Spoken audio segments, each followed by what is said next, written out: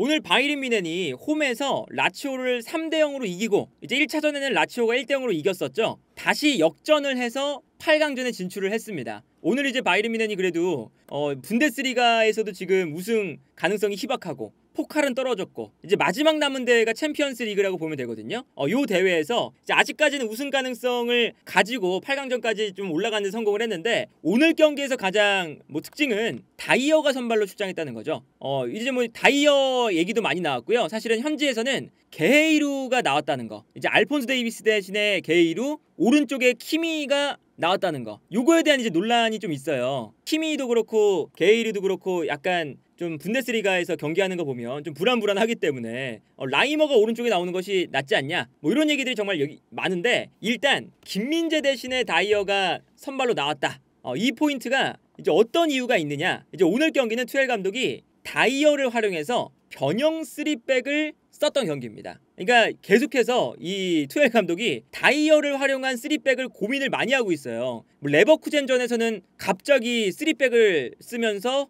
다이어, 김민재, 더리흐트 이 3백도 썼었잖아요. 그러니까 오늘 경기는 이제 왜 이런 3백이 나왔느냐? 라치오가 엄청 수비적으로 나올 것이 예상이 됐어요. 어, 라치오 자체가 1차전에서도 본인들의 홈이었지만 엄청 내려가서 경기를 했죠. 어, 그러다 보니까 내려갔을 때 요 수비 라인을 어떻게 무너뜨릴 것인가 그 고민이 필요하죠. 근데 그 고민을 다이어의 3백으로 해답을 찾은 거예요. 어, 떤 거냐? 중앙 지역에 자네랑 무시알라가 중앙으로 들어갑니다. 그러면서 수비수들을 가운데로 조금 더 이제 끌어당겨요. 끌어당기고 다이어가 가운데로 들어가고요. 더리우트가 오른쪽이 됩니다. 그리고 고레츠카가 왼쪽으로 내려가죠. 그리고 게헤이루랑 키미가 올라가면서 요 왼쪽 오른쪽 측면을 쓰기 시작해요. 요 3백이거든요. 그리고 이제 파블로비치가 이제 중앙에 있고 고레츠카가 이제 3백을 하면서 약간 뭐 조금 더 올라가긴 하지만 고레츠카가 미드필더 라인과 수비 라인을 왔다 갔다 하면서 3백을 만들어 주니까 좌우 풀백을 올리면서 요 측면 공간을 활용하겠다. 어, 이겁니다. 여기에 그러면 왜 김민재가 아니라 다이어였느냐?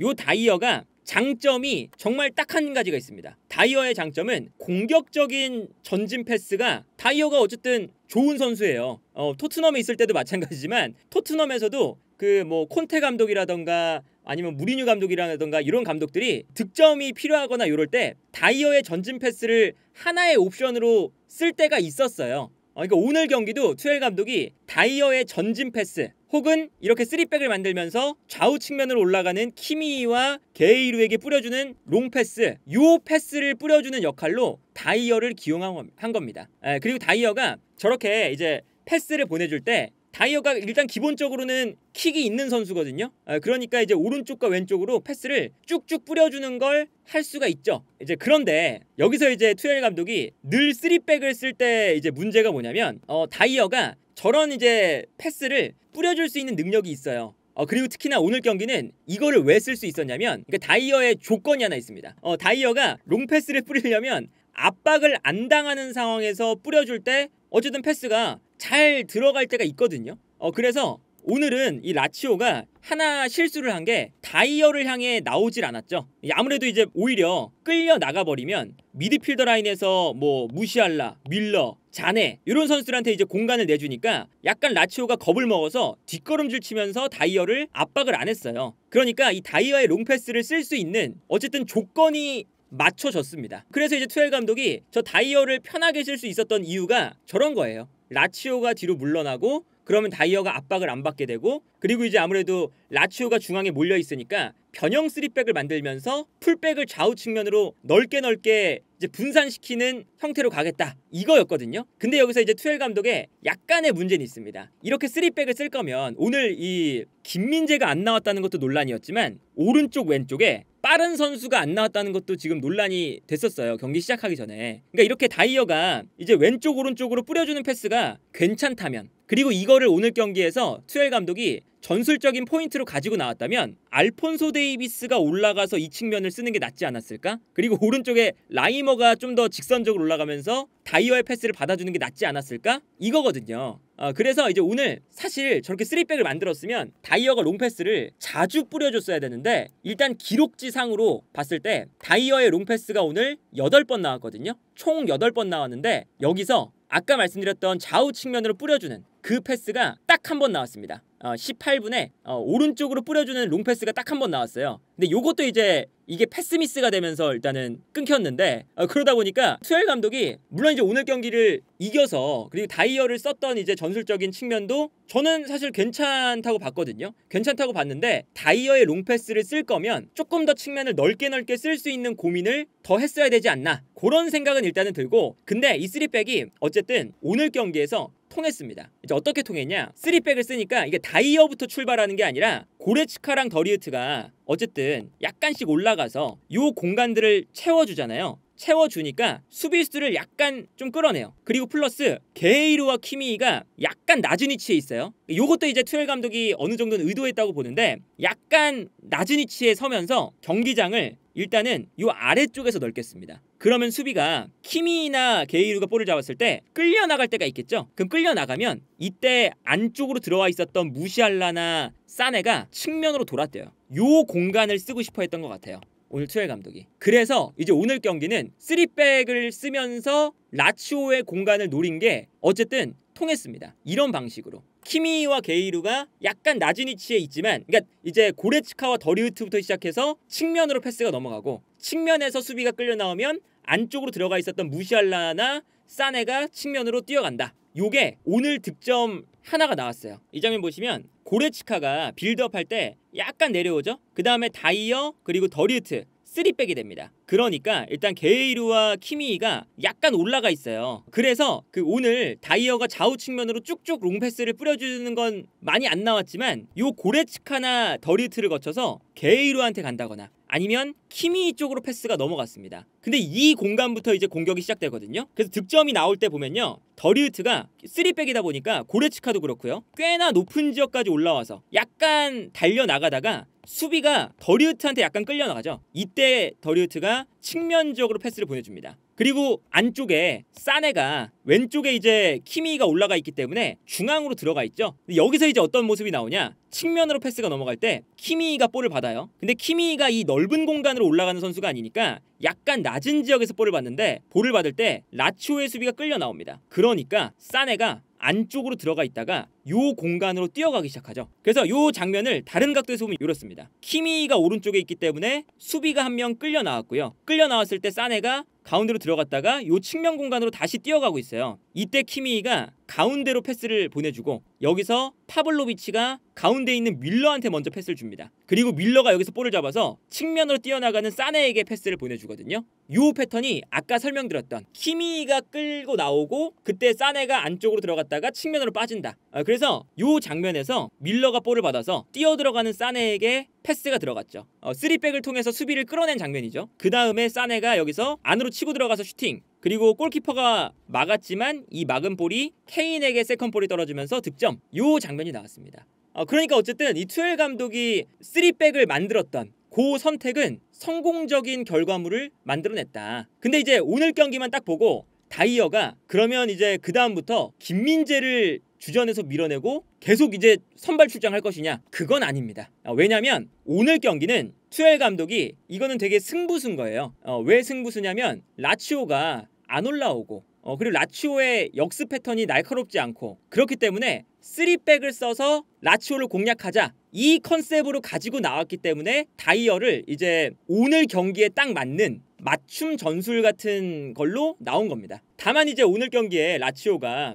공격이 너무 부진했어요. 어, 그러다 보니까 오늘 유효 슈팅이 아예 단 한 번도 없었거든요. 그러니까 요 정도로 이제 라치오의 공격이 매우 부진하다 보니까 비교적 다이어의 그 문제점 있죠. 어, 다이어가 롱 패스 그리고 패스에 대한 장점 이런 것들은 있지만 수비적으로는 당연히 이 선수가 불안한 선수는 맞거든요. 어, 그래서 이제 다이어를 쓸 때는 수비적인 단점을 감수하면서 쓰게 되죠. 근데 오늘은 라치오가 공격력이 그렇게 좋은 팀이 아니고 너무 내려가 있다 보니까 다이어의 수비적인 문제점이 안 나온다면 3백을 써서 다이어의 이 패스 능력을 조금 더 살려본다 라는 생각으로 투헬 감독이 오늘 다이어를 선발로 쓴 거다. 아, 그런데 만약에 챔피언스리그 이제 8강에 갔어요. 8강에 갔는데 뭐 예를 들면 오늘 확정한 팀이 또 파리 생제르맹이 있죠. 파리 생제르맹이랑 만납니다. 근데 그 위치에서 다이어가 나오는 위치가 이제 뎀벨레를 막아야 되거든요. 혹은 뭐 음바페를 막아야겠죠. 바이에른 뮌헨이 음바페와 뎀벨레처럼 이렇게 빠른 선수가 있는데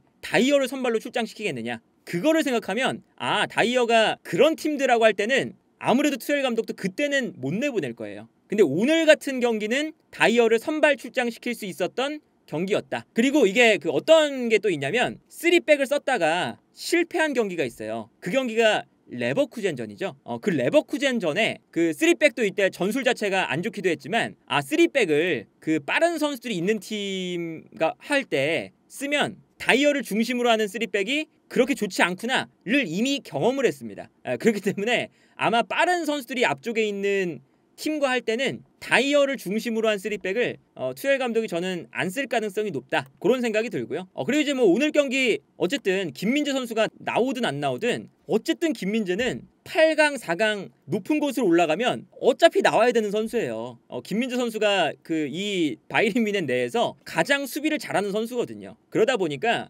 김민재 입장에서도 지금 우승 트로피를 들 수 있는 대회가 챔피언스 리그밖에 안 남았고 어, 그렇기 때문에 김민재 입장에서도 오늘 경기를 승리한 게 당연히 매우 매우 좋은 거다. 그래서 이제 오늘 이제 경기에 heat map을 보면 라치오가 정말 많이 내려서 있어요. 어, 이 라치오가 이제 오른쪽에서 왼쪽으로 공격을 하는 거거든요. 거의 페널티 박스 안으로 접근조차 못했죠. 이러니까 이제 오늘 다이어가 편안하게 요 가운데에서 압박을 안 받으면서 볼을 앞으로 보내줄 수 있는 찬스가 있었던 겁니다. 이제 이 장면도 보시면 다이어가 볼을 잡고 있습니다. 근데 라치오가 분명히 공격을 하다가 볼을 잃어버린 상황인데도 불구하고 압박을 안 해요. 어설프게 올라와 있죠. 투엘 감독도 선발로 기용할 수 있었던 이유가 여기 있는 거예요. 그래서 이 장면 보시면 다이어가 볼을 잡았을 때 사네가 뛰어갑니다. 그리고 뛰어 들어가는 사네에게 다이어가 패스를 보내주죠. 어 근데 이 어쨌든 다이어가 요 패스 길을 볼 수 있는 선수기 때문에 패스가 들어가면서 사네에게 좋은 패스가 연결되면서 한 번에 바이에른 뮌헨이 공격 전환이 되거든요. 어, 그래서 이제 이런 장점이 다이어도 있다. 다만 이 장면 보시면 귀엥두지가 볼을 가지고 이 안쪽으로 들어갑니다. 그 다이어가 요 가운데 있었죠. 그리고 이때 무시알라가 순간적으로 못 따라가는 장면이었어요. 그런데 다이어가 요 앞 공간으로 뛰어 들어오는 선수를 일단은 뒷짐을 지고 다시 뒷걸음질을 치기 시작합니다. 김민재였다면 여기서 이제 경합을 하거나 슈팅을 못하게 방해를 했겠죠. 이렇게 약간 뒷걸음질을 치니까 귀엥두지가 슈팅을 했는데 다이어의 몸을 보면 이게 슈팅 방향을 약간 열어주고 있거든요. 이게 물론 득점으로 연결되지 않았지만 요런 문제가 다이어는 수비할 때 무조건 발생을 해요. 뭐 요런 장면도 마찬가지죠. 어, 이 장면들 보시면 측면에서 크로스가 올라올 때 임모빌레가 뛰어가거든요. 근데 여기서 다이어가 이제 임모빌레를 마크를 해야 되는 상황이었어요. 그런데 크로스가 올라왔을 때 이제 어떤 모습이 나오냐면 일단 첫 번째는 더리흐트 잘못입니다. 크로스가 올라왔을 때 더리흐트가 걷어낼 수가 있었어요. 어, 근데 이거를 잘못 걷어냈죠. 어, 이게 첫 번째 문제고 가장 큰 문제. 그리고 이제 여기서 잘 안 보였지만 두 번째 문제는 다이어가 순간적으로 시야에서 놓쳤습니다. 임모빌레의 움직임을. 오프사이드도 아니었거든요. 이런 문제가 다이어는 나와요. 늘. 이 장면에서 사실은 뭐 더리흐트가 끊어냈어야 되는 장면이고 더리흐트 때문에 이거는 위기 상황이 온 거긴 하지만 다이어가 어, 더리흐트가 아무리 이렇게 잘못 걷어냈다 해도 어, 이렇게 선수를 놓치는 이런 집중력이 부족한 장면들이 나오기 때문에 어, 다이어의 이런 수비적인 단점을 생각을 해본다면 다이어를 지속적으로 쓰기에는 투엘 감독도 분명히 부담감이 큰 상황이다. 다이어가 나왔을 때 이 3백이 투엘 감독은 성공을 시켰다. 다만 이 3백을 사용했을 때 다이어가 그렇다고 해서 정말 좋은 퍼포먼스가 나왔느냐 그렇게 볼 수도 없다. 오늘 경기에 이 다이어의 장점이라고 할 수 있는 롱패스 이런 것들이 발휘된 경기는 또 아니었기 때문에 어, 다이어가 나와서 이 3백이 성공했다 라기보다는 투엘 감독이 3백을 만드는 과정에서 3백의 이 구조적인 장점들 상대를 측면으로 분산시키는 그 장점들이 발휘가 되면서 오늘 경기를 바이에른 뮌헨이 승리로 가져갔다. 어, 그래서 뭐 다이어의 뭐 개인적인 퍼포먼스를 엄청 칭찬하기도 힘든 경기고 그렇다고 해서 뭐 투엘 감독이 이 3백을 썼다고 해서 비판을 받아야 되는 경기도 아니고 오히려 이제 투엘 감독이 이 3백을 쓰면서 이겼으니까 어, 전술적인 승리를 가져갔던 경기다. 그래서 뭐 이 한 경기만으로 뭐 투엘 감독의 평가 그리고 김민재의 평가 다이어의 평가가 절대적인 평가를 내릴 수 있는 경기는 아니다.